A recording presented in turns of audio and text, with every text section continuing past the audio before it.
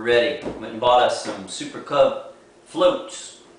And we're gonna put it on the little old Hobby Zone Super Cub.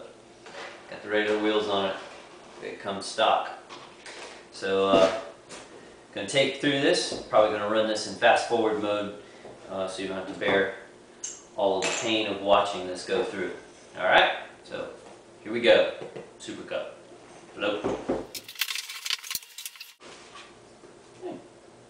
Extra prop. Excellent.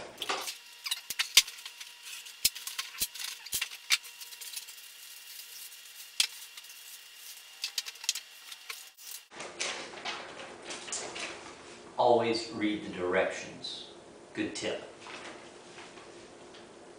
As long as they're in English, which they are. Landing gear, there is a left and a right.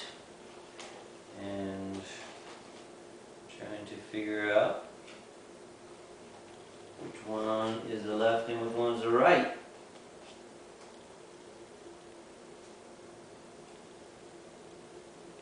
Aha. Says the indention in the foam is how you know. So there's little indentions where the screw holes or the spreader bar will go into. Those go inward.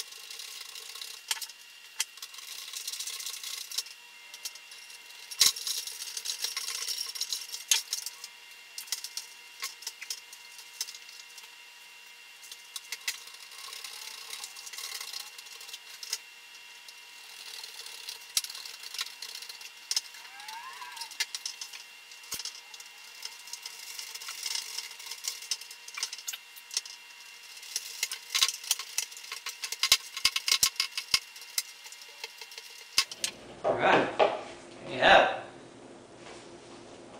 it. Ready to float.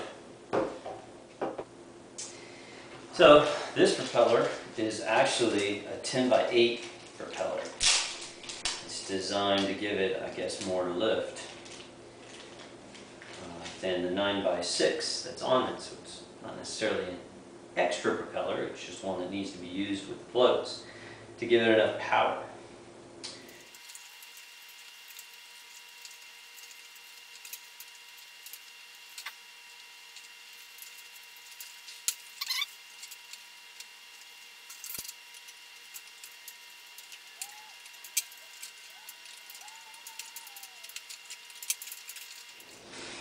Wow, that took entirely too long.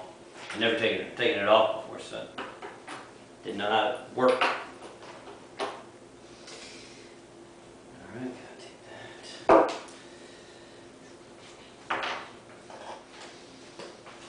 Crescent wrench, always a good thing to have.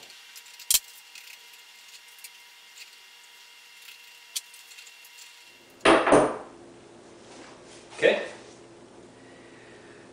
On. Now, just need to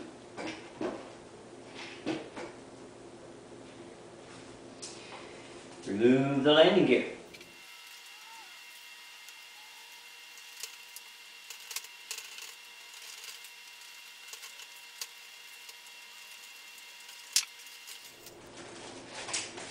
Now let's go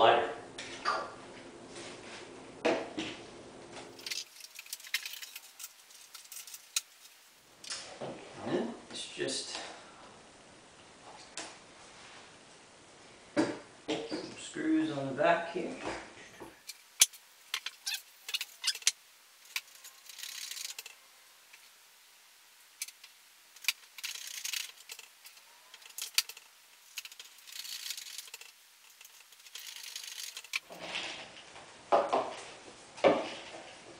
Voila!